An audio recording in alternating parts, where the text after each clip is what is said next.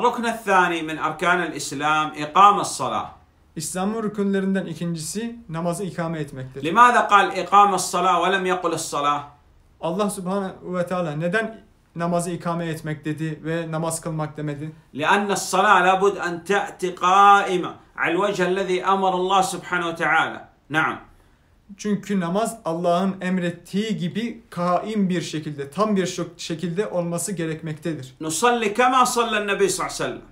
Nebi sallallahu aleyhi ve sellemin namaz kıldığı gibi namaz kılmamız gerekir. Naam. As-salaten kasim ila kısmi. Namaz ikiye ayrılır. Feriza ve nafile. Farz olan namaz ve nafile olan namaz. El feriza salavat el mefruz el khams fi kulli yevm ve leyle.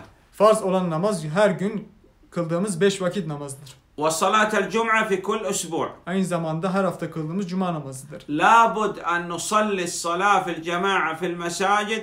Hâlâ ala kul racul bâlig âkil.